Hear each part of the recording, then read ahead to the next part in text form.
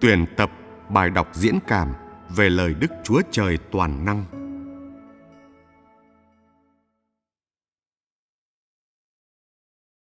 Thành công hay thất bại phụ thuộc vào con đường mà con người đi.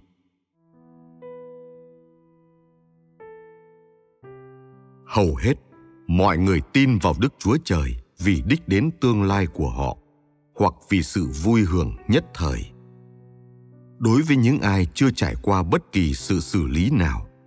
Họ tin vào đức chúa trời để bước vào thiên đàng, để có được phần thưởng.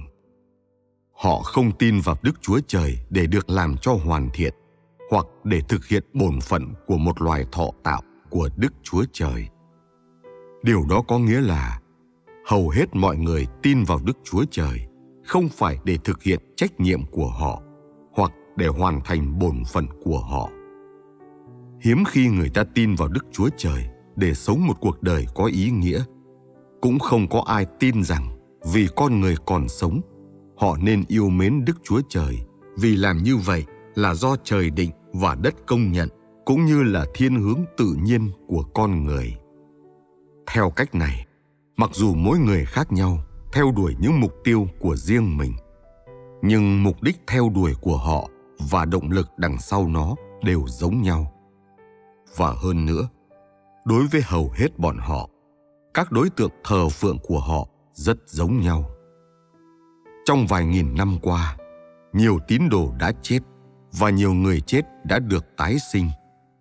Không chỉ một hoặc hai người tìm kiếm đức chúa trời, thậm chí không phải một hoặc hai nghìn người.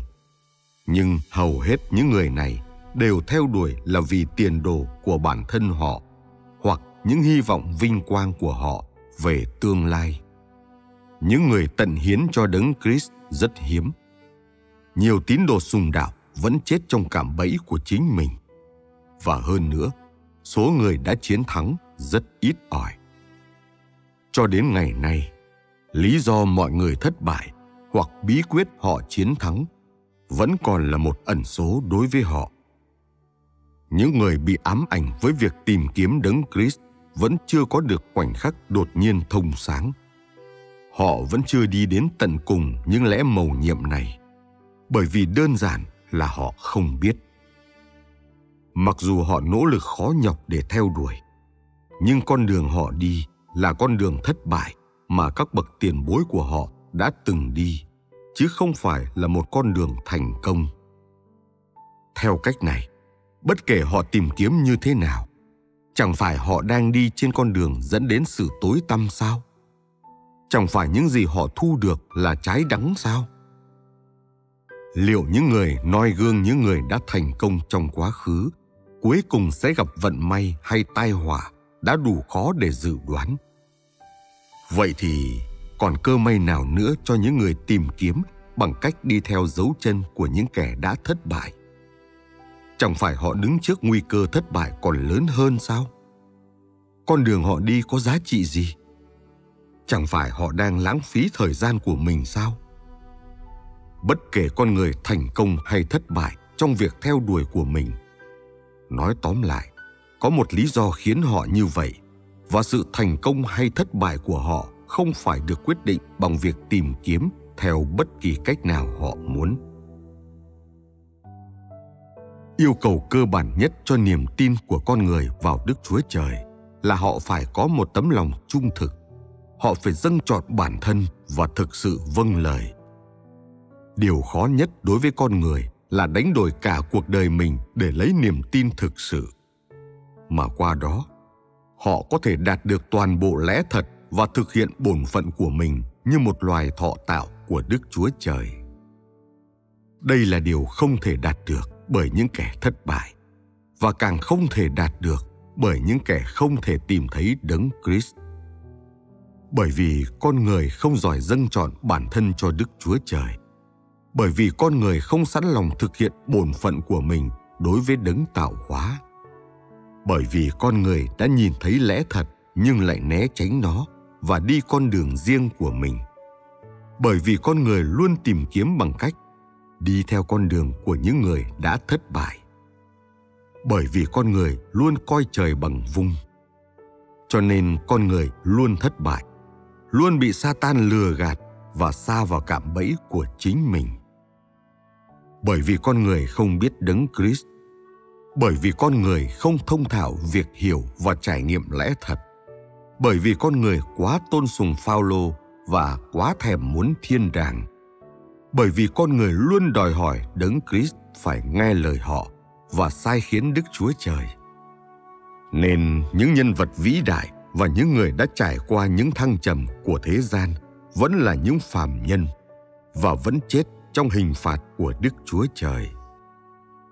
Tất cả những gì ta có thể phán về những người như thế là họ chết một cái chết bi thảm và hậu quả dành cho họ, cái chết của họ không phải là không có lý. Chẳng phải thất bại của họ càng không thể dung thứ với luật trời sao? Lẽ thật đến từ nhân thế, nhưng lẽ thật giữa con người được truyền lại bởi đấng Christ. Nó bắt nguồn từ đấng Christ, nghĩa là từ chính Đức Chúa Trời, và đây không phải là điều con người có thể làm được. Tuy nhiên, đấng Christ chỉ cung cấp lẽ thật. Ngài không đến để quyết định liệu con người có thành công trong việc theo đuổi lẽ thật hay không. Do đó, thành công hay thất bại trong lẽ thật đều nằm ở sự theo đuổi của con người thành công hay thất bại trong lẽ thật của con người không bao giờ liên quan đến đấng Christ, mà thay vào đó được quyết định bởi sự theo đuổi của họ. Đích đến của con người và thành công hay thất bại của họ không thể đổ lên đầu Đức Chúa Trời, để chính Đức Chúa Trời buộc phải gánh lấy nó.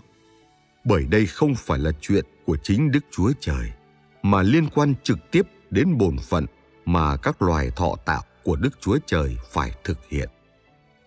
Hầu hết mọi người đều có một ít kiến thức về sự theo đuổi và đích đến của Phaolô và Phiere, Nhưng mọi người không biết gì hơn ngoài kết cục của Phiere và Phaolô và không biết gì về bí mật đằng sau thành công của Fierro hay những thiếu sót đã dẫn đến thất bại của Paulo. Và vì vậy, nếu các ngươi hoàn toàn không có khả năng nhìn thấu thực chất sự theo đuổi của họ thì sự theo đuổi của hầu hết các ngươi sẽ vẫn thất bại và ngay cả khi một số ít người trong các ngươi thành công thì họ vẫn sẽ không sánh bằng Fierro được. Nếu con đường ngươi theo đuổi là đúng đắn, thì ngươi có hy vọng thành công. Nếu con đường ngươi đi khi theo đuổi lẽ thật là sai lầm, thì ngươi sẽ mãi mãi không có khả năng thành công và sẽ gặp phải kết cục giống như Phaolô. Führer là một con người đã được làm cho hoàn thiện. Chỉ sau khi trải nghiệm hình phạt và sự phán xét, và qua đó đạt được một tình yêu thuần khiết dành cho Đức Chúa Trời, ông mới hoàn toàn được trở nên hoàn thiện. Con đường ông đã đi là con đường để được trở nên hoàn thiện điều đó có nghĩa là ngay từ đầu con đường Führer đi đã đúng đắn và động lực của ông cho việc tin vào Đức Chúa Trời đã đúng đắn. Và vì vậy, ông đã trở thành một người được làm cho hoàn thiện và ông đã đi một con đường mới mà con người chưa từng đi trước đó. Tuy nhiên, con đường Phaolô đã đi từ đầu là con đường chống đối đấng Christ và chỉ vì Đức Thánh Linh muốn sử dụng ông, muốn tận dụng những ân tứ của ông và tất cả những phẩm chất của ông cho công tác của Ngài. Nên ông đã làm việc cho Đấng Christ trong vài thập niên. Ông chỉ đơn thuần là người được Đức Thánh Linh sử dụng và ông đã được sử dụng không phải vì Giêsu có thiện cảm với nhân tính của ông, mà vì những ân tứ của ông. Ông đã có thể làm việc cho Giêsu vì ông đã bị hạ gục, chứ không phải vì ông vui vẻ làm vậy. Ông đã có thể làm công việc như thế nhờ sự khai sáng và hướng dẫn của đức thánh linh.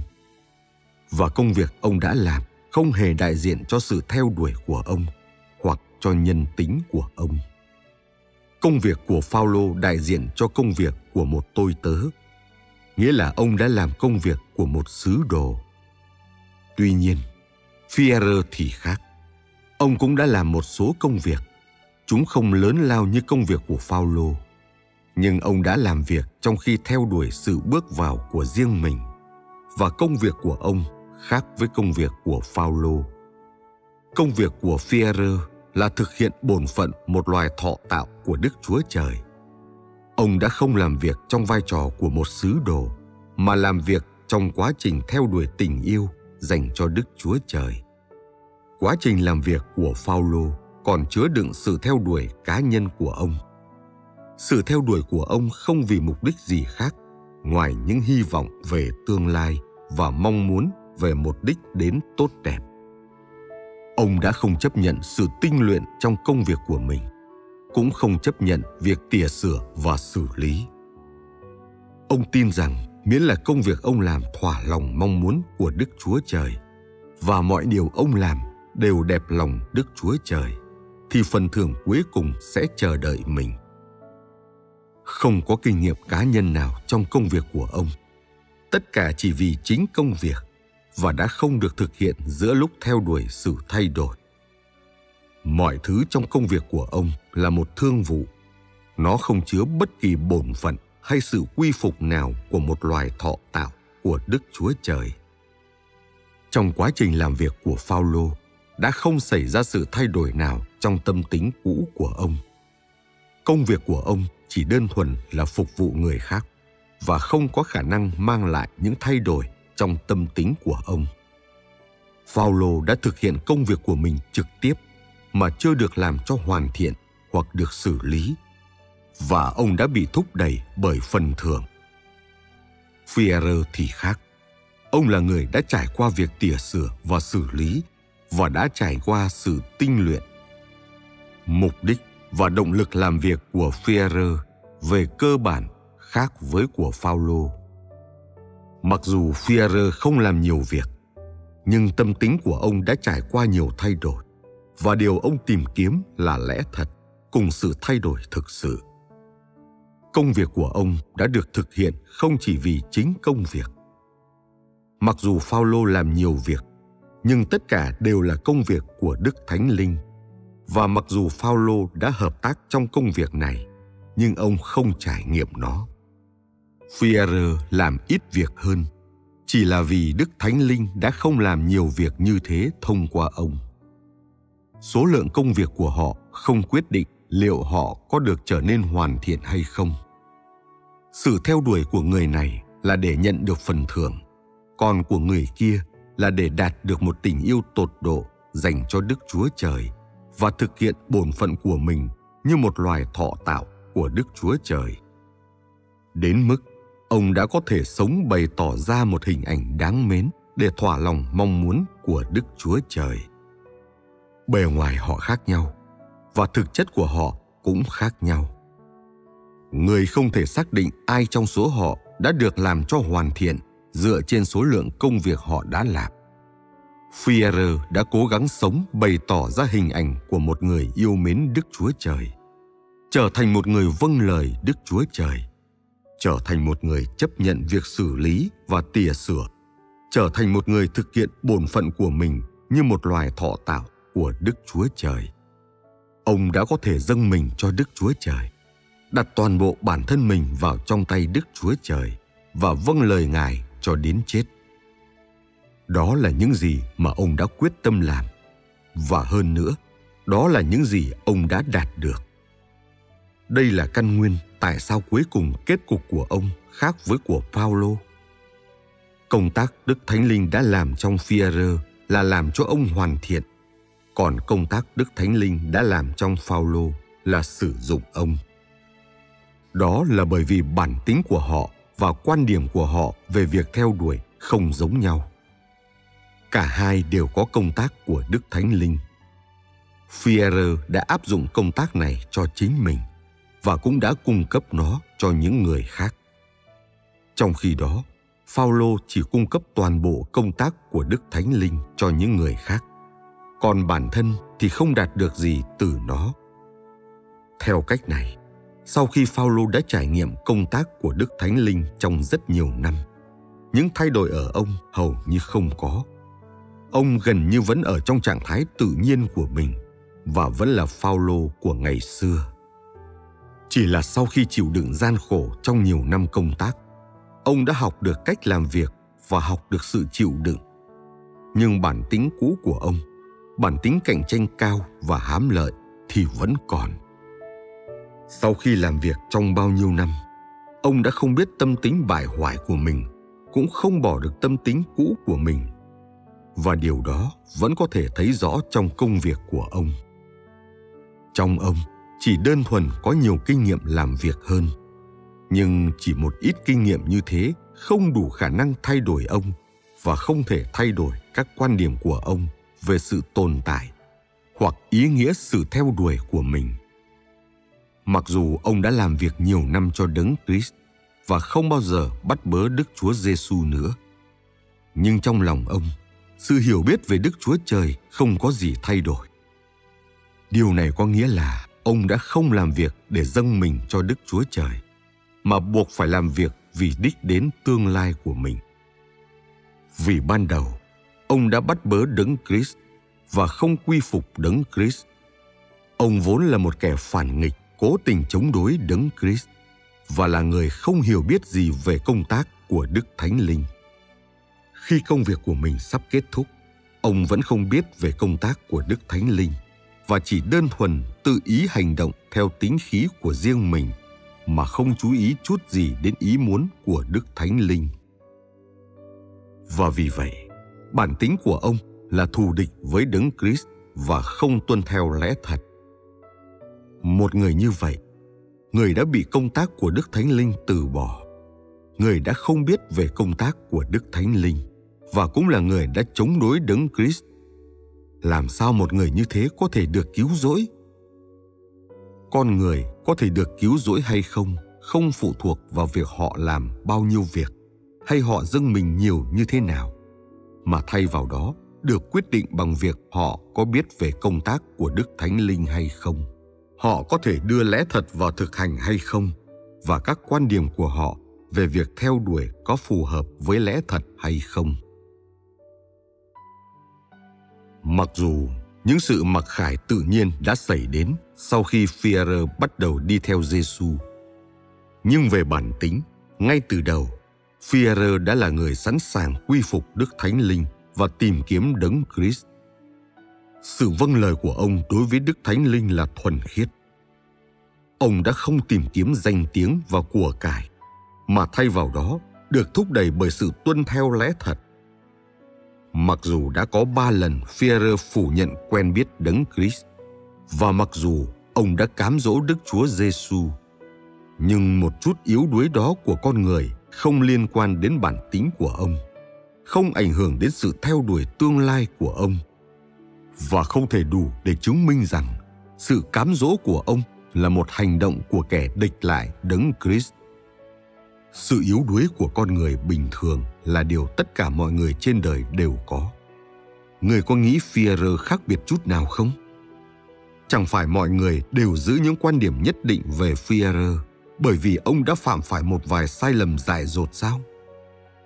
và chẳng phải mọi người đều vô cùng ngưỡng mộ Paulo vì mọi việc ông đã làm và mọi thư tín mà ông đã viết sao? Làm sao con người có thể nhìn thấu được bản chất của con người? Chắc hẳn những người thật sự có lương tri đều có thể nhìn thấy một điều nhỏ nhặt như thế chứ. Mặc dù nhiều năm trải nghiệm đau đớn của Ferrer không được ghi lại trong Kinh Thánh, nhưng điều này không chứng tỏ rằng Ferrer đã không có những trải nghiệm thực sự, hoặc Ferrer đã không được làm cho hoàn thiện. Làm sao công tác của Đức Chúa Trời có thể được con người hiểu thấu hoàn toàn? Những ghi chép trong Kinh Thánh không phải do đích thân Giêsu lựa chọn, mà đã được các thế hệ sau biên soạn. Như vậy, chẳng phải mọi điều ghi trong Kinh Thánh đều đã được lựa chọn theo ý tưởng của con người sao? Hơn nữa, kết cục của Führer và Phaolô không được nêu rõ trong các thư tín. Vì vậy, con người đánh giá Führer và Phaolô theo nhận thức riêng của mình và theo ý thích riêng của mình. Và bởi vì Phaolô đã làm rất nhiều việc, bởi vì những đóng góp của ông quá lớn lao, nên ông đã giành được sự tin tưởng của quần chúng. Chẳng phải con người chỉ tập trung vào bề nổi sao? làm sao con người có thể có khả năng nhìn thấu được bản chất của con người? Chưa kể, biết rằng Phaolô đã là một đối tượng được tôn thờ trong hàng nghìn năm. Ai dám liều lĩnh phủ nhận công việc của ông? Führer chỉ là một người đánh cá. Vậy làm sao sự đóng góp của ông có thể lớn lao như của Phaolô được?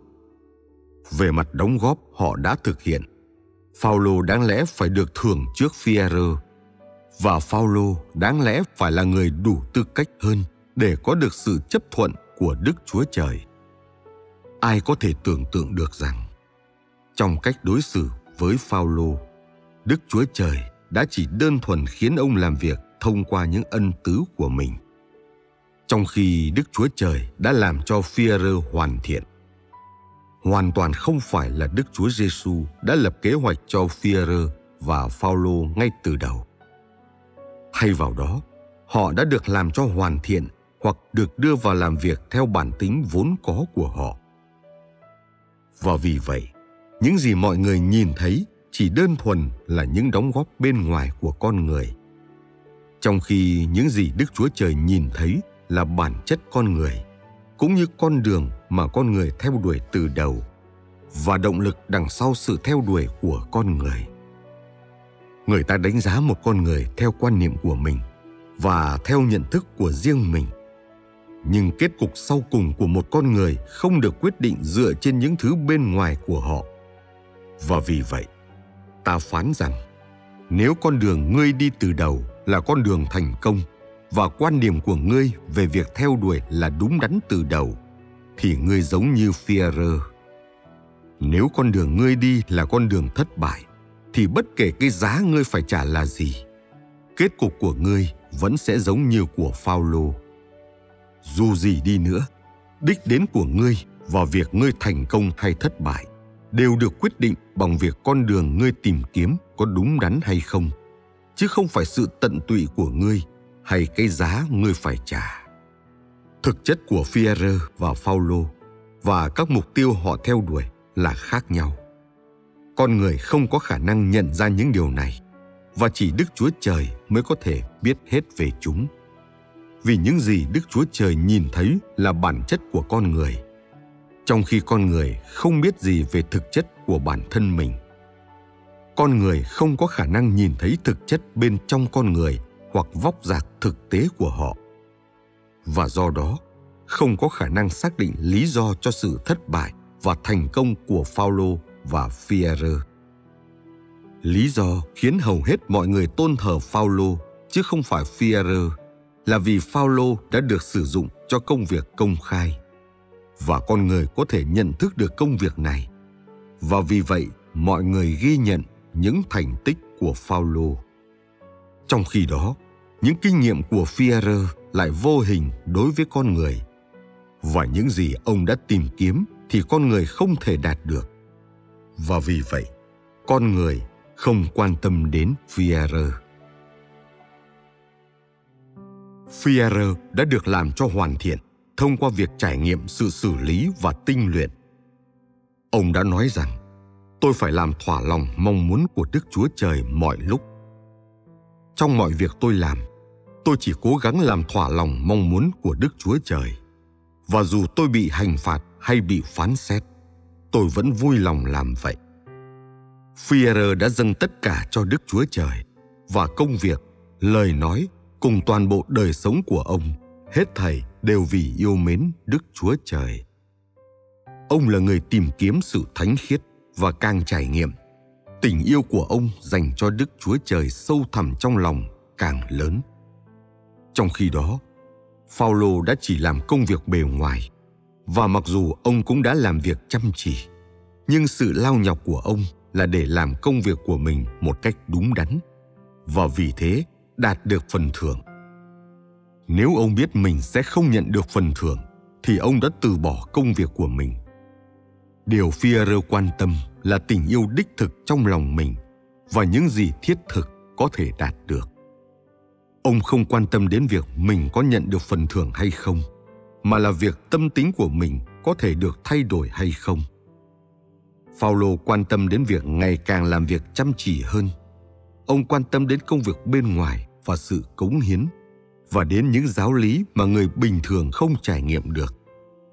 Ông không quan tâm gì đến những thay đổi sâu bên trong mình và tình yêu đích thực dành cho Đức Chúa Trời. Những trải nghiệm của Führer là để đạt được một tình yêu đích thực và một sự hiểu biết thực sự về Đức Chúa Trời. Những trải nghiệm của ông là để đạt được một mối quan hệ gần gũi hơn với Đức Chúa Trời và để sống một cách thực tế. Công việc của Phaolô được thực hiện là do những gì Giêsu đã giao phó cho ông và để có được những điều ông ao ước. Nhưng những điều này không liên quan đến sự hiểu biết của ông về bản thân và về Đức Chúa Trời. Công việc của ông chỉ là để thoát khỏi hình phạt và sự phán xét. Điều Führer tìm kiếm là tình yêu thuần khiết và điều Phaolô tìm kiếm là máu triều thiên của sự công bình.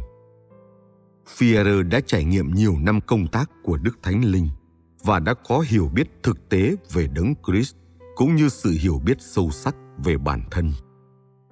Và vì vậy, tình yêu của ông dành cho Đức Chúa Trời là thuần khiết. Nhiều năm tinh luyện đã nâng cao hiểu biết của ông về Giêsu và sự sống. Và tình yêu của ông là một tình yêu vô điều kiện. Đó là một tình yêu tự phát. Và ông đã không đòi hỏi điều gì đáp lại, cũng không hy vọng có được bất kỳ lợi ích nào. Phaolô đã làm việc trong nhiều năm, nhưng ông không có nhiều hiểu biết về đấng Christ và sự hiểu biết của ông về bản thân cũng ít ỏi đến đáng thương. Ông không hề có tình yêu dành cho đấng Christ và công việc của ông cùng đường đua mà ông chạy là để có được vòng nguyệt quế sau cùng.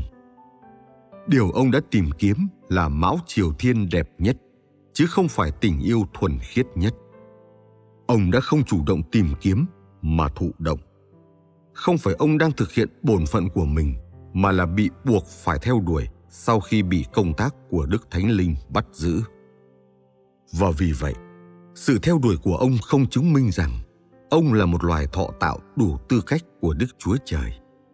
Chính Führer là một loài thọ tạo đủ tư cách của Đức Chúa Trời. Ông đã thực hiện bổn phận của mình.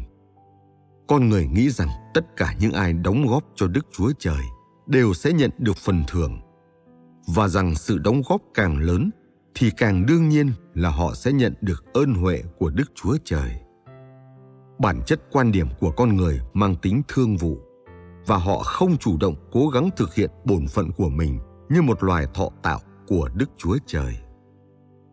Đối với Đức Chúa Trời, con người càng tìm kiếm một tình yêu đích thực dành cho Đức Chúa Trời và sự vâng lời Đức Chúa Trời hoàn toàn.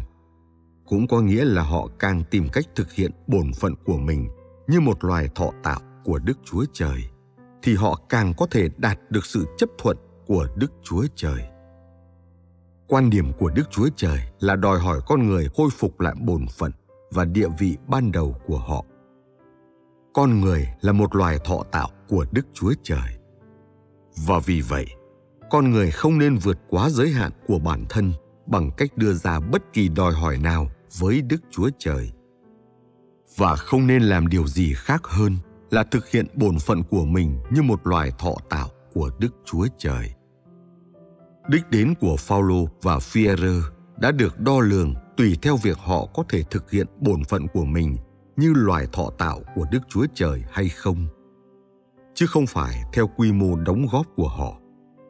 Đích đến của họ đã được xác định dựa theo những gì họ tìm kiếm ngay từ đầu, chứ không phải theo lượng công việc họ đã làm hoặc theo đánh giá của những người khác về họ. Và vì vậy, cố gắng tích cực thực hiện bổn phận của mình như một loài thọ tạo của Đức Chúa Trời là con đường dẫn đến thành công. Tìm kiếm con đường của tình yêu đích thực dành cho Đức Chúa Trời là con đường đúng đắn nhất. Tìm kiếm những thay đổi trong tâm tính cũ của mình và tìm kiếm tình yêu thuần khiết dành cho Đức Chúa Trời là con đường dẫn đến thành công. Một con đường dẫn đến thành công như thế là con đường khôi phục bổn phận ban đầu cũng như diện mạo ban đầu của một loài thọ tạo của Đức Chúa Trời. Đó là con đường khôi phục và cũng là mục tiêu của mọi công tác của Đức Chúa Trời từ đầu đến cuối. Nếu việc theo đuổi của con người bị ô tạp bởi những đòi hỏi ngông cuồng cá nhân và những thèm muốn phi lý, thì hiệu quả đạt được sẽ không phải là những thay đổi trong tâm tính của con người. Điều này mâu thuẫn với công tác khôi phục. Đó chắc chắn không phải là công tác được thực hiện bởi đức thánh linh. Và vì vậy, chứng tỏ rằng loại theo đuổi này không được đức chúa trời chấp thuận. Một sự theo đuổi không được đức chúa trời chấp thuận thì có nghĩa lý gì? Công việc do Phaolô thực hiện đã được thể hiện trước con người, nhưng tình yêu của ông dành cho đức chúa trời thuần khiết ra sao? Và ông đã yêu mến đức chúa trời đến mức nào sâu trong lòng mình? Những điều này con người không thể nhìn thấy được. Con người chỉ có thể nhìn thấy công việc ông đã làm. Từ đó con người biết rằng ông chắc chắn đã được đức thánh linh sử dụng và vì thế con người nghĩ rằng Phaolô tốt hơn Pierre, rằng công việc của ông vĩ đại hơn vì ông đã có thể cung cấp cho các hội thánh. Pierre chỉ chú ý đến những kinh nghiệm cá nhân của mình và chỉ thu phục được một vài người trong thời gian công tác không thường xuyên của mình. Từ ông, chỉ có một vài thư tín ít được biết đến. Nhưng ai biết tình yêu của ông dành cho Đức Chúa Trời sâu trong lòng lớn đến nhường nào? Ngày qua ngày, Phaolô đã làm việc cho Đức Chúa Trời. Chừng nào còn việc để làm thì ông đều làm. Ông cảm thấy bằng cách này, ông sẽ có thể đạt được máu triều thiên và có thể làm thỏa lòng Đức Chúa Trời. Nhưng ông đã không tìm cách thay đổi bản thân thông qua công việc của mình. Bất cứ điều gì trong cuộc sống của Führer không thỏa lòng mong muốn của Đức Chúa Trời đều khiến ông cảm thấy bứt rứt. Nếu việc đó không thỏa lòng mong muốn của Đức Chúa Trời, thì ông sẽ cảm thấy hối hận và sẽ tìm kiếm một cách thích hợp để ông có thể phấn đấu làm thỏa lòng Đức Chúa Trời. Ngay cả trong những khía cạnh nhỏ nhặt nhất và vụn vặt nhất của cuộc sống, ông vẫn đòi hỏi bản thân phải làm thỏa lòng mong muốn của Đức Chúa Trời. Ông cũng đòi hỏi cao không kém đối với tâm tính cũ của mình, luôn khắt khe trong những yêu cầu về bản thân để tiến sâu hơn vào lẽ thật. Phaolô chỉ tìm kiếm danh tiếng và địa vị bề ngoài. Ông đã tìm cách thể hiện bản thân trước con người và không tìm cách tiến sâu hơn vào lối vào sự sống điều ông quan tâm là giáo lý, không phải hiện thực một số người nói rằng, Phaolô đã làm rất nhiều việc cho Đức Chúa Trời. Tại sao ông không được Đức Chúa Trời nhớ đến? Führer chỉ thực hiện một ít việc cho Đức Chúa Trời và đã không có đóng góp to lớn cho các hội thánh. Vậy tại sao ông lại được làm cho hoàn thiện? Führer đã yêu mến Đức Chúa Trời đến một mức độ nhất định mà Đức Chúa Trời yêu cầu chỉ những người như vậy mới có chứng ngôn. Còn Phaolô thì sao? Phaolô đã yêu mến Đức Chúa Trời đến mức độ nào? Người có biết không? Công việc của Phaolô là vì điều gì? Còn công việc của Führer là vì điều gì? Führer đã không làm nhiều việc, nhưng người có biết những điều sâu thẳm trong lòng ông không? Công việc của Phaolô liên quan đến việc cung cấp cho các hội thánh và hỗ trợ cho các hội thánh. Những gì Fierre trải nghiệm là những thay đổi trong tâm tính sống của mình. Ông đã trải nghiệm tình yêu dành cho Đức Chúa Trời. Giờ thì ngươi đã biết những khác biệt về thực chất của họ. Ngươi có thể thấy cuối cùng thì ai thực sự tin vào Đức Chúa Trời và ai không thực sự tin vào Đức Chúa Trời. Một trong hai đã thực sự yêu mến Đức Chúa Trời, còn người kia thì không thực sự yêu mến Đức Chúa Trời một người đã trải qua những thay đổi trong tâm tính mình, còn người kia thì không. Một người đã khiêm nhường hầu việc và không dễ được mọi người chú ý. Còn người kia đã được mọi người tôn thờ và đã có hình ảnh tuyệt vời. Một người tìm kiếm sự thánh khiết, còn người kia thì không. Và mặc dù người đó không bất khiết, nhưng người đó không sở hữu một tình yêu thuần khiết. Một người sở hữu nhân tính thật còn người kia thì không. Một người sở hữu ý thức của một loài thọ tạo của Đức Chúa Trời, còn người kia thì không. Đó là những khác biệt về thực chất của Phaolô và Führer. Con đường Führer đã đi là con đường thành công cũng là con đường để đạt được sự khôi phục nhân tính bình thường và khôi phục bổn phận của một loài thọ tạo của Đức Chúa Trời. Führer đại diện cho tất cả những người thành công. Con đường Phaolô đã đi là con đường thất bại và ông đại diện cho tất cả những ai chỉ quy phục và dâng mình hời hợt chứ không thực sự yêu mến Đức Chúa Trời. Phaolô đại diện cho tất cả những ai không sở hữu lẽ thật. Trong niềm tin vào Đức Chúa Trời, Führer đã cố gắng làm thỏa lòng Đức Chúa Trời trong mọi việc và tìm cách vâng phục tất cả mọi điều đến từ Đức Chúa Trời. Không một chút than phiền, ông đã có thể chấp nhận hình phạt và sự phán xét, cũng như sự tinh luyện, hoạn nạn và thiếu thốn trong cuộc sống của mình. Không điều nào trong số này có thể thay đổi tình yêu của ông dành cho Đức Chúa Trời. Chẳng phải đây là tình yêu tột độ dành cho Đức Chúa Trời sao? Chẳng phải đây là thực hiện bổn phận của một loài thọ tạo của Đức Chúa Trời sao? Cho dù chịu hình phạt, sự phán xét hay cơn hoạn nạn, người vẫn luôn có khả năng đạt được sự vâng phục cho đến chết. Và đây là điều một loài thọ tạo của Đức Chúa Trời phải đạt được. Đây là sự thuần khiết của tình yêu dành cho Đức Chúa Trời. Nếu con người có thể đạt được đến mức này, thì họ là một loài thọ tạo đủ tư cách của Đức Chúa Trời. Và không có điều gì thỏa lòng mong muốn của đấng tạo hóa hơn thế. Thử tưởng tượng, người có thể làm việc cho Đức Chúa Trời, nhưng người không vâng lời Đức Chúa Trời và không có khả năng thực sự yêu mến Đức Chúa Trời. Theo cách này, không những ngươi sẽ không thực hiện bổn phận của một loài thọ tạo của Đức Chúa Trời, mà còn bị Đức Chúa Trời kết tội, vì ngươi là kẻ không sở hữu lẽ thật, kẻ không có khả năng vâng lời Đức Chúa Trời và là kẻ bất tuân với Đức Chúa Trời. Ngươi chỉ quan tâm đến việc làm việc cho Đức Chúa Trời, mà không quan tâm đến việc đưa lẽ thật vào thực hành hay hiểu biết về bản thân. Ngươi không hiểu hoặc không biết về đấng tạo hóa và không vâng lời hay yêu mến đấng tạo hóa. Ngươi là kẻ bẩm sinh đã bất tuân với Đức Chúa Trời. Và vì vậy, những kẻ như thế không được đấng tạo hóa yêu mến. Một số người nói rằng Phaolô đã làm một khối lượng công việc rất lớn. Ông đã gánh vác những trọng trách to lớn cho các hội thánh và đã đóng góp rất nhiều cho họ 13 thư tín của Phaolô đã duy trì 2.000 năm thời đại ân điển và chỉ đứng thứ hai sau bốn sách phúc âm. Ai có thể so sánh với ông? Không ai có thể giải mã sách khải huyền của răng. Trong khi các thư tín của Phaolô cung cấp sự sống và công việc ông đã làm mang lại ích lợi cho các hội thánh. Ai khác có thể đạt được những điều như vậy? Còn Führer đã làm công việc gì?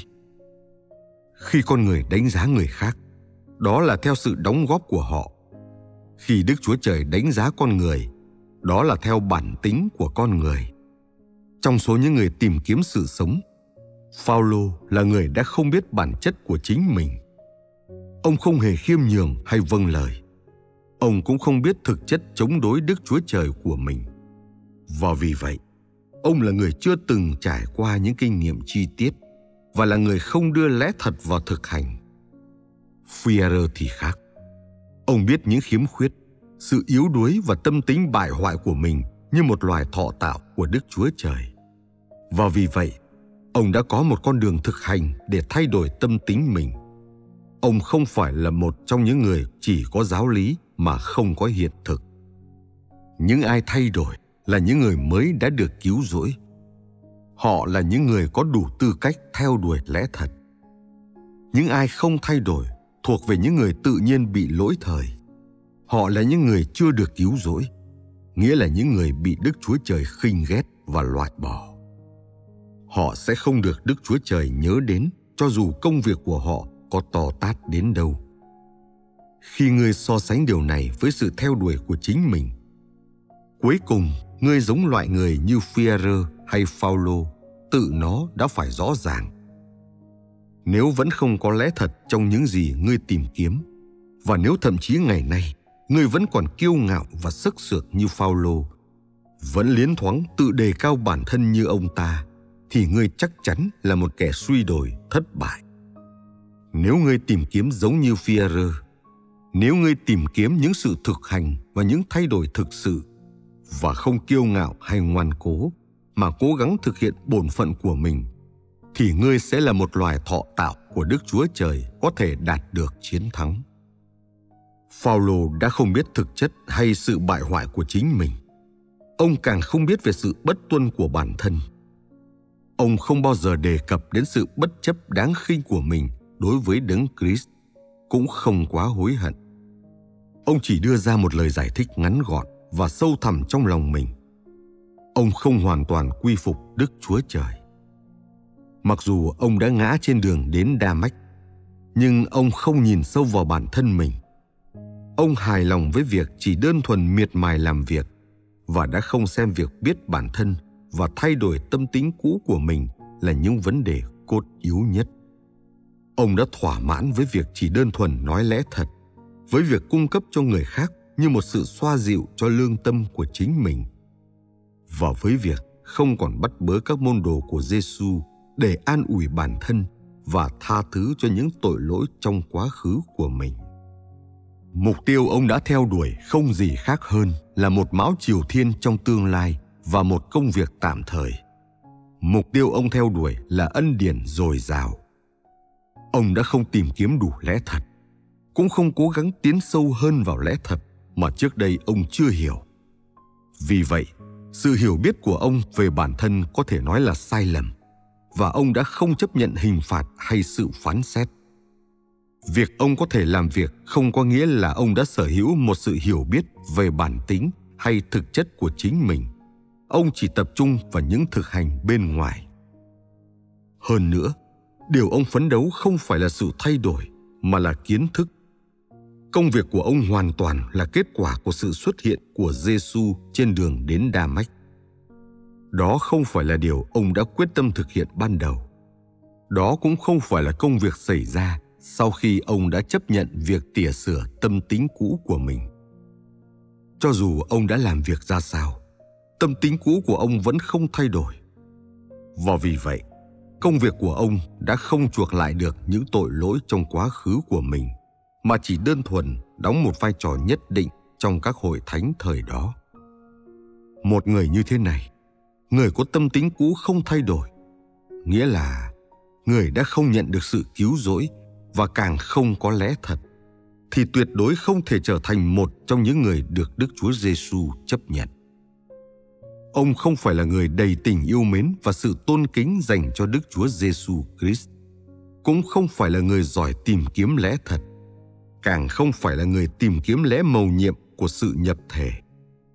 Ông chỉ đơn thuần là người khéo ngụy biện và là người không chịu khuất phục trước bất kỳ ai cao hơn mình hoặc bất kỳ ai sở hữu lẽ thật. Ông đố kỵ với những người hoặc những lẽ thật trái ngược với mình hoặc thù địch với mình. Thích những người có tài là những người thể hiện một hình ảnh tuyệt vời và sở hữu kiến thức uyên thâm.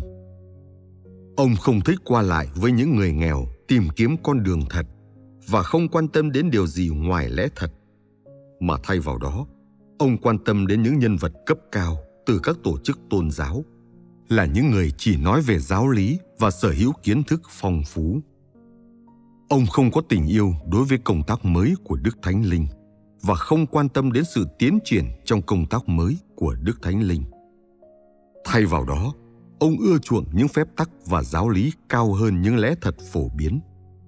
Xét về bản chất bẩm sinh của ông và toàn bộ những gì ông đã tìm kiếm, ông không xứng đáng được gọi là một cơ đốc nhân theo đuổi lẽ thật, càng không phải là một đầy tớ trung thành trong nhà của đức chúa trời. Vì sự giả hình của ông quá nhiều và sự bất tuân của ông quá lớn, mặc dù được biết đến như một đầy tớ của đức chúa giêsu nhưng ông đã không hề xứng đáng để được bước vào cổng vương quốc thiên đàng vì những hành động của ông từ đầu đến cuối không thể được gọi là công chính ông chỉ có thể đơn thuần được xem là một kẻ giả hình và đã làm điều bất chính nhưng cũng là người đã làm việc cho đấng Christ. Mặc dù ông không thể bị gọi là xấu xa, nhưng có thể phù hợp để gọi ông là một con người làm điều bất chính. Ông đã làm rất nhiều việc, nhưng ông không được đánh giá dựa trên số lượng công việc ông đã làm, mà chỉ dựa trên chất lượng và thực chất của nó. Chỉ bằng cách này mới có thể đi đến tận cùng của vấn đề này. Ông đã luôn tin rằng ta có khả năng làm việc, ta giỏi hơn hầu hết mọi người, ta quan tâm đến trọng trách của Chúa hơn ai hết và không ai ăn năn sâu sắc như ta vì sự sáng lớn đã chiếu trên ta và ta đã nhìn thấy sự sáng lớn và vì vậy, sự ăn năn của ta sâu sắc hơn bất kỳ ai khác. Vào lúc đó, đây là những gì ông đã nghĩ trong lòng. Khi kết thúc công việc của mình Phaolô đã nói, ta đã đánh trận, ta đã xong sự chạy, và mão triều thiên của sự công bình đã để dành cho ta. Trận chiến, công việc và sự chạy của ông hoàn toàn vì mão triều thiên của sự công bình và ông đã không chủ động tiến lên. Mặc dù ông đã không làm chiếu lệ trong công việc của mình, nhưng có thể nói rằng, công việc của ông được thực hiện chỉ đơn thuần để bù đắp cho những lỗi lầm của mình, để bù đắp cho những lời buộc tội của lương tâm mình. Ông đã chỉ hy vọng hoàn tất công việc của mình, hoàn thành sự chạy của mình và đánh trận xong càng sớm càng tốt hầu cho ông có thể giành được máu triều thiên của sự công bình mà mình hằng ao ước sớm hơn nữa điều ông ao ước không phải là được gặp đức chúa giêsu bằng những kinh nghiệm và kiến thức thực sự của mình, mà là để hoàn thành công việc của mình càng sớm càng tốt, để ông sẽ nhận được những phần thưởng mà công việc của ông đã mang lại khi ông gặp Đức Chúa Giêsu. Ông đã dùng công việc của mình để tự an ủi bản thân và để đạt được một thỏa thuận đổi lấy máu triều thiên trong tương lai. Thứ ông tìm kiếm không phải là lẽ thật hay Đức Chúa Trời, mà chỉ là máu triều thiên. Làm sao một sự theo đuổi như thế có thể đạt tiêu chuẩn được? Động lực của ông, công việc của ông, cái giá ông đã trả và tất cả mọi nỗ lực của ông những ảo tưởng tuyệt vời của ông đã lấp đầy những điều này và ông đã làm việc hoàn toàn theo những ham muốn của riêng mình. Trong toàn bộ công việc của ông, không có một chút sẵn lòng nào trong cái giá ông đã trả. Ông chỉ đơn thuần tham gia vào việc đạt được một thỏa thuận. Những nỗ lực của ông không được tự nguyện thực hiện để thực hiện bổn phận của mình, mà được tự nguyện thực hiện để đạt được mục tiêu của thỏa thuận. Có bất kỳ giá trị nào cho những nỗ lực như thế không? Ai sẽ khen ngợi những nỗ lực bất khiết của ông? Ai có chút hứng thú nào với những nỗ lực như thế? Công việc của ông đầy những giấc mơ cho tương lai, đầy những kế hoạch tuyệt vời và không chứa đựng con đường để thay đổi tâm tính của con người. Rất nhiều sự nhân từ của ông là giả vờ. Công việc của ông đã không cung cấp sự sống, mà là một phép lịch sự giả tạo. Đó là việc đạt được một thỏa thuận làm sao công việc như thế này có thể dẫn con người đến con đường khôi phục bổn phận ban đầu của họ được tất cả những gì Führer đã tìm kiếm là hợp lòng Đức Chúa Trời. Ông cố gắng thực hiện mong muốn của Đức Chúa Trời và bất kể đau khổ, nghịch cảnh, ông vẫn sẵn lòng thực hiện mong muốn của Đức Chúa Trời. Không có sự theo đuổi nào lớn hơn thế bởi một người tin vào Đức Chúa Trời. Những gì Phaolô tìm kiếm đã bị ô tạp bởi chính xác thịt của ông, bởi những quan niệm riêng của ông và bởi những kế hoạch và ý đồ riêng của ông. Ông hoàn toàn không phải là một loài thọ tạo đủ tư cách của Đức Chúa Trời, không phải là người cố gắng thực hiện mong muốn của Đức Chúa Trời. Führer đã cố gắng quy phục những sự sắp đặt của Đức Chúa Trời và mặc dù công việc ông đã làm không to tát nhưng động lực đằng sau sự theo đuổi của ông và con đường ông đã đi là đúng đắn. Mặc dù ông không thể thu phục được nhiều người, nhưng ông đã có thể theo đuổi con đường của lẽ thật. Bởi vậy, có thể nói rằng ông là loài thọ tạo đủ tư cách của đức chúa trời. Ngày nay, ngay cả khi ngươi không phải là một cộng sự người vẫn có thể thực hiện bổn phận của một loài thọ tạo của Đức Chúa Trời và cố gắng quy phục mọi sự sắp đặt của Đức Chúa Trời. ngươi phải có thể vâng theo bất kỳ điều gì Đức Chúa Trời phán và trải nghiệm đủ kiểu hoạn nạn và tinh luyện và mặc dù ngươi yếu đuối, nhưng trong lòng, ngươi vẫn phải có thể yêu mến Đức Chúa Trời. Những ai chịu trách nhiệm cho sự sống của chính mình sẵn lòng thực hiện bổn phận của một loài thọ tạo của Đức Chúa Trời. Và quan điểm về việc theo đuổi của những người như thế là đúng đắn. Đây là những người Đức Chúa Trời cần. Nếu người đã làm nhiều việc và những người khác đã có được những lời giáo huấn của ngươi, nhưng bản thân ngươi lại không thay đổi và không mang bất kỳ chứng ngôn nào hay có bất kỳ kinh nghiệm thực sự nào đến nỗi cuối đời ngươi vẫn không có điều gì ngươi đã làm mang chứng ngôn thì ngươi có phải là người đã thay đổi không ngươi có phải là người theo đuổi lẽ thật không? Vào lúc đó, đức thánh linh đã sử dụng ngươi. Nhưng khi ngài sử dụng ngươi, ngài đã sử dụng phần có thể dùng để làm việc được của ngươi. Và ngài không sử dụng phần không thể dùng được của ngươi. Nếu ngươi cố gắng thay đổi, thì ngươi sẽ dần dần được làm cho hoàn thiện trong quá trình được sử dụng. Tuy nhiên, đức thánh linh không chịu trách nhiệm cho việc cuối cùng ngươi có được thu phục hay không, mà điều này phụ thuộc vào cách thức theo đuổi của ngươi. Nếu không có những thay đổi trong tâm tính cá nhân của ngươi, thì đó là do quan điểm của ngươi về việc theo đuổi là sai lầm. Nếu ngươi không được ban thưởng, thì đó là vấn đề riêng của ngươi, và vì bản thân ngươi đã không đưa lẽ thật vào thực hành và không thể thực hiện mong muốn của đức chúa trời. Vì vậy không có gì quan trọng hơn những kinh nghiệm của cá nhân người và không có gì trọng yếu hơn sự bước vào của cá nhân người.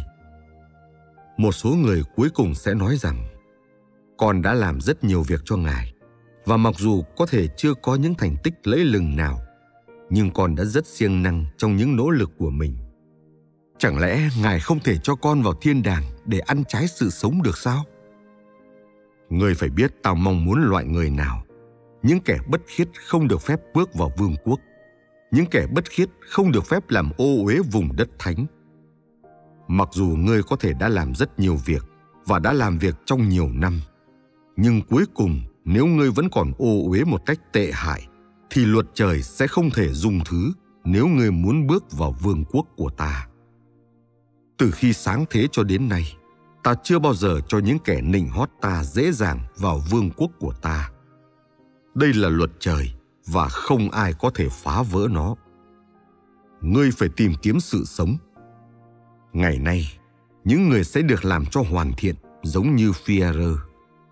Họ là những người tìm kiếm sự thay đổi trong tâm tính của bản thân mình, sẵn sàng làm chứng cho Đức Chúa Trời và thực hiện bổn phận của mình như một loài thọ tạo của Đức Chúa Trời. Chỉ những người như vậy mới được làm cho hoàn thiện.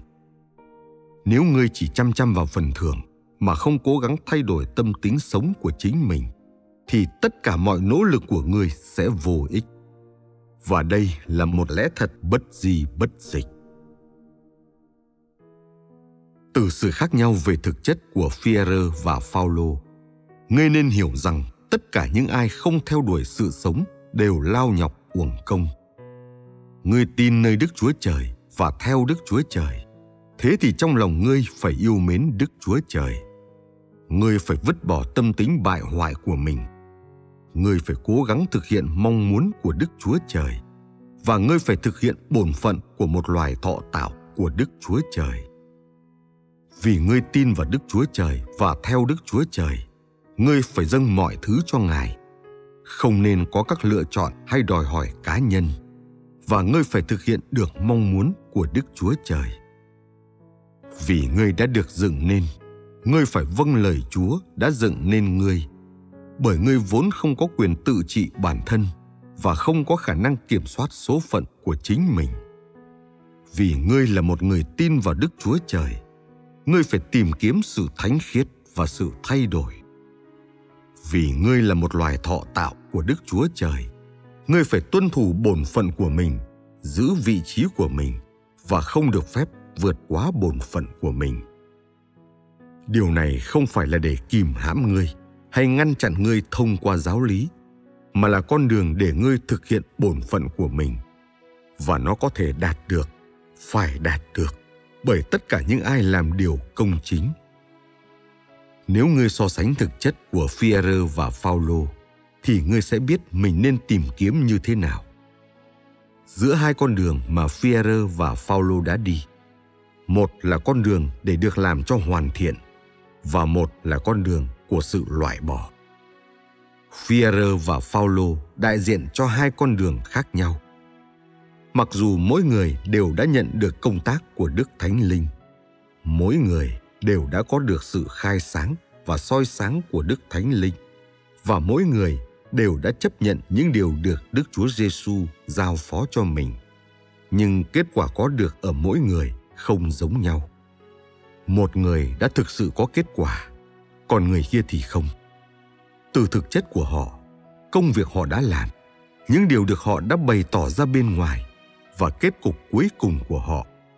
Người nên hiểu con đường nào mình nên đi con đường nào mình nên chọn để đi. Họ đã đi hai con đường hoàn toàn khác nhau. Paulo và fierre họ là điển hình hoàn hảo của mỗi con đường và vì vậy ngay từ đầu họ đã được đưa ra làm hình mẫu cho hai con đường này. Những điểm then chốt trong kinh nghiệm của Phaolô là gì? Và tại sao ông đã không thành công? Những điểm then chốt trong kinh nghiệm của Führer là gì? Và ông đã trải nghiệm việc được làm cho hoàn thiện như thế nào? Nếu người so sánh những điều từng người quan tâm, thì ngươi sẽ biết chính xác loại người nào Đức Chúa Trời muốn. Ý muốn của Đức Chúa Trời là gì? tâm tính của Đức Chúa Trời là gì? Loại người nào cuối cùng sẽ được làm cho hoàn thiện, cũng như loại người nào sẽ không được làm cho hoàn thiện. Người sẽ biết tâm tính của những người sẽ được làm cho hoàn thiện là gì, và tâm tính của những người sẽ không được làm cho hoàn thiện là gì. Những vấn đề về thực chất này có thể nhìn thấy được trong những kinh nghiệm của Fierre và Paulo. Đức Chúa Trời đã dựng nên muôn vật, và do đó, ngài khiến cho mọi tạo vật đều phải nằm dưới sự thống trị của ngài và quy phục sự thống trị của ngài ngài sẽ chỉ huy muôn vật, hầu cho muôn vật đều nằm trong tay của ngài mọi tạo vật của đức chúa trời, bao gồm động vật, thực vật, loài người, núi, sông và hồ hết thảy đều phải nằm dưới sự thống trị của ngài. Mọi thứ trên trời dưới đất đều phải nằm dưới sự thống trị của ngài. Chúng không thể có bất kỳ sự lựa chọn nào và tất cả đều phải quy phục sự sắp đặt của ngài. Điều này đã được đức chúa trời định đoạt và là thẩm quyền của đức chúa trời. Đức chúa trời chỉ huy mọi thứ, ra lệnh và xếp hạng hết thảy mọi thứ. Với từng thứ được phân theo loại và được phân công vị trí riêng của chúng theo ý muốn của đức chúa trời dù vĩ đại đến đâu thì cũng không điều gì có thể vượt qua Đức Chúa Trời.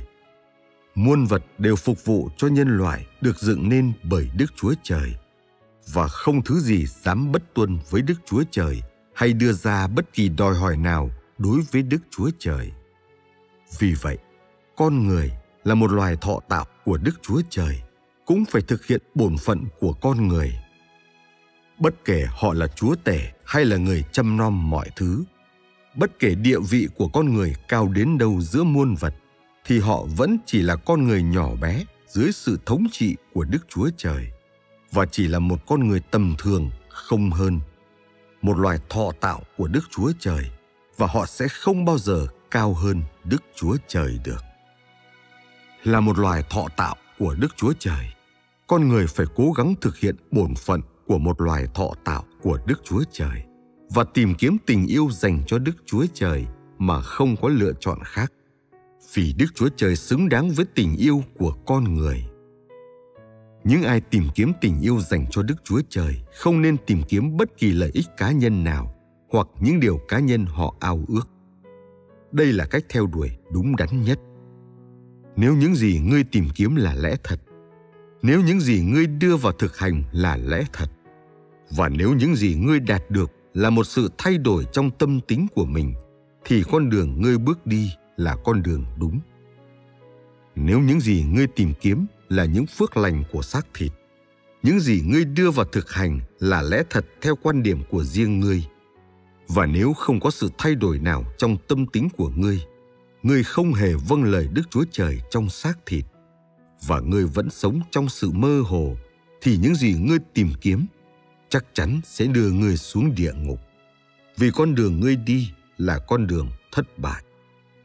Việc ngươi sẽ được làm cho hoàn thiện hay bị loại bỏ tùy thuộc vào sự theo đuổi của chính ngươi. Điều đó cũng có nghĩa là thành công hay thất bại phụ thuộc vào con đường mà con người đi.